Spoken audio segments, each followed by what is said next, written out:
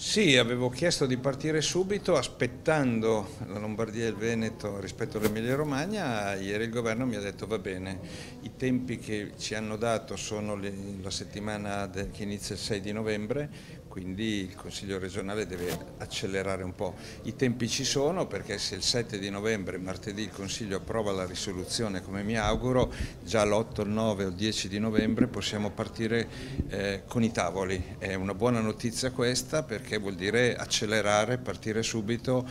e, e fare quello che si deve fare, quello che dovremmo fare in tempi rapidi.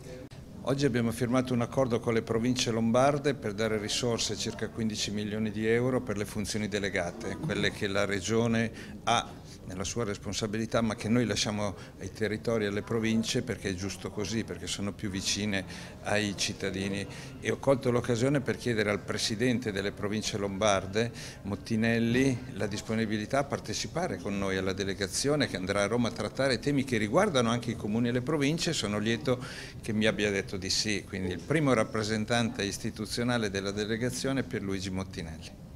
È tutto da costruire, non ci sono precedenti, questa è una, è una, cosa molto stimolante per noi. Io penso che 23 materie potranno essere raggruppate in 3-4 eh, macro aree a seconda della, del, dei contenuti e mettersi al lavoro su queste macro aree tempi rapidi per definire proprio l'attuazione concreta perché è tutto da scrivere, che cosa vuol dire coordinamento del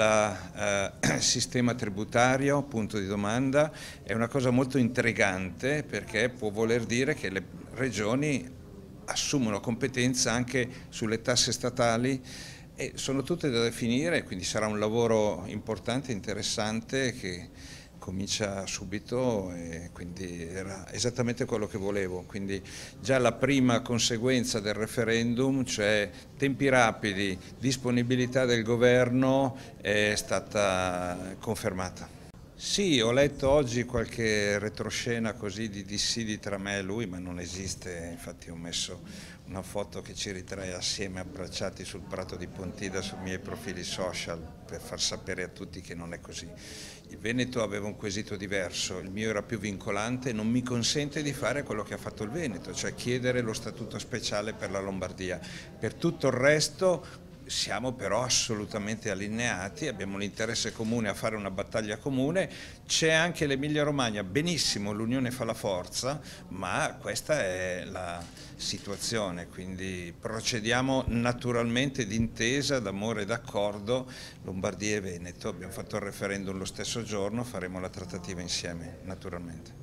La trattativa partirà e partirà sui tavoli a Roma con il governo eh, organizzati da me e da Luca Zaia. Sì, l'ho sentito lunedì mattina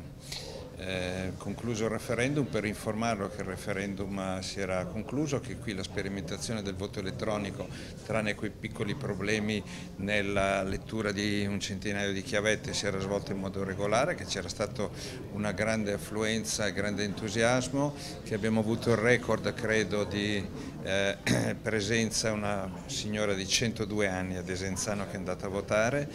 eh, e per chiedergli appunto la disponibilità a cominciare subito, rapidamente e lui me l'aveva confermata, quindi eh, non ho dubbi che sia anche nell'interesse del governo, di Gentiloni in particolare, partire subito e concludere rapidamente l'intesa. Poi ci sarà da vedere